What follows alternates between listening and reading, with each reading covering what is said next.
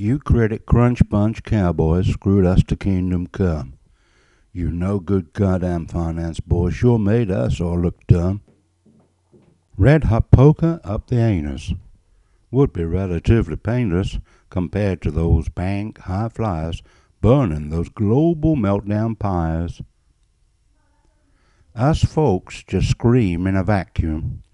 Banks sit on cash in a back room. Politicians talk the talk, but can't walk the walk with their crook butt. Bankers have shown they'll have one arm thicker than the other. You know what? They is heavy, and hell, they ain't my brother. It's a greed thing. Agreed? Norwich and Peterborough Building Society. Think twice before you join, 'cause like me, sooner or later down the line, they'll kick you in the groin.